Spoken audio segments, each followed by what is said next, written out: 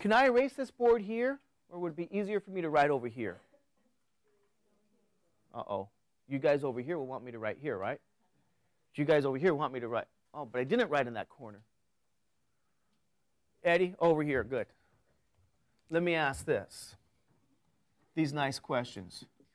What percent, can I say percent of the population or percent of the sample? What percent of the sample has question one? No children. Okay? Question two one child. Question three two children.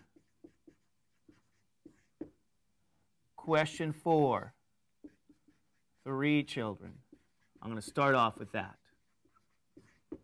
But I'll ask you more questions, okay? So if you're going to answer these questions, you're going to have to convert your relative frequencies to percent by doing what? Multiplying by 100. You guys with me on that? What's the effect? And I'm going to sit there and write down the effect. The effect of multiplying every decimal by 100, what is that effect? What happens when you multiply a decimal by 100? how does the decimal move? You move, well, you move the decimal. How? Two spaces to the what? To the right. And again, the y is in that presentation you can refer to. I mean, we don't meet till two weeks from now. You got a holiday next weekend. So what are you going to do? What are you guys going to do during the holiday? Good. Watch all that stuff that's there. You'll be ahead of the game. And you'll be better for it. You guys are students, right? You do whatever, well, I want to phrase it that way. As students, there's no such thing as a vacation. Do you guys know that? No such thing as vacation. What do you do in your vacation? You study, you work hard, you get ahead, you do whatever you have to. Okay, so during that time, I'll check the count because I have a count there. I know how many people are watching it. And if it doesn't change during the whole weekend, how am I going to feel? Huh? I'm going to feel bad. I got to make time for my jujitsu. Okay? I do. And um, I was thinking of dropping a class. I don't know which one to drop. I was thinking, should I drop the Friday class? Could do that. Can I drop the Saturday class? Oh, that might be okay. What about that calculus class, Math 263? That's at night. I'm tired. I can be in Torrance maybe. I could train. You know, all that fun stuff. I can have some fun. So I'm, I'm trying to think, what, what class should I drop? I don't know. What are you guys going to do over the weekend? Next weekend and this weekend, maybe. Good. Because we're going to see that counter what? Move by at least how many people in the room? By five? There's no five people. We got like 65 people here. So I want to see that at least 65, meaning at least 60, hopefully at least doesn't exactly mean that. People have watched it. So that when I come back, everybody's going to get an A on the test. There's no reason why anyone, everyone shouldn't get an A. Okay? All that information's there. There's no mystery. I'm not going to try to, you know, do anything weird by testing you on chapter 4 when we study chapters 2 and 3. It's all there. Okay? So make sure you guys look at that so I don't feel like actually, uh, you know what? I don't know. Okay, here we go.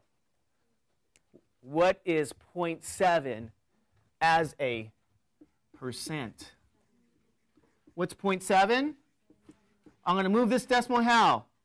One, two spaces to the what? To the right. And what do you guys see now? What is that? What is that? That is now what? 70 what? Percent. Here's a percent symbol. Let's move point two, two spaces to the right. And what do you see now? What do you guys see now? 20%. Oh, zero is still what? 0%. Point one. Point one, two spaces to the right. What do you guys see now? 10%. Notice when I add all these percentages, what is that approximately? In this case, it's exactly 100%, but if we had some approximation, it could have been approximately 100%.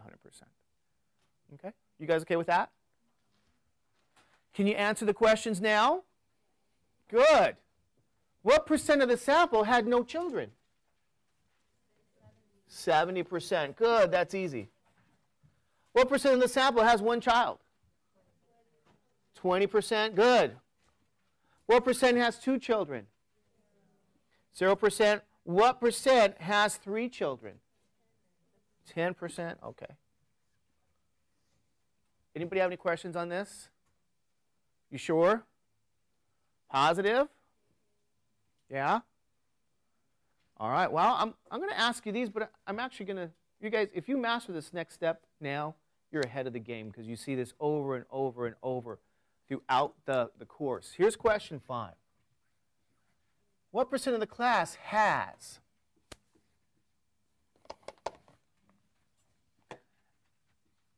at least one child?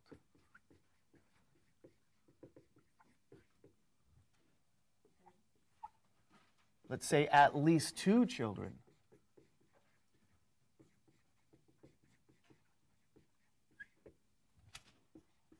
Okay. Less than two children.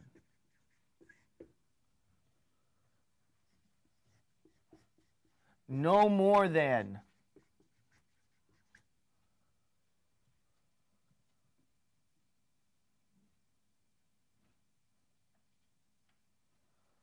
No more than what?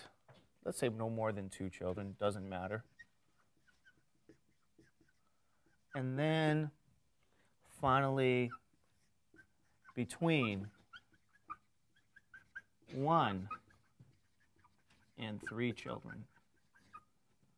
Personally, I'm going to say this. You know, I've noticed certain things. Uh, you know, since I teach probability and statistics, I, I really, I think this way very often. And that's actually what you guys should get out of this course, really, is to learn how to think. It's not just do the computation, you learn how to think about things and what this stuff really means. And so very often, I, you know, I, I, I, evaluate things. I look at what usually happens, what can happen, what percent of the time do certain things happen. And I found from the past that people that have trouble with statistics, um, there's a lot of different reasons. But one of the reasons has to do with language.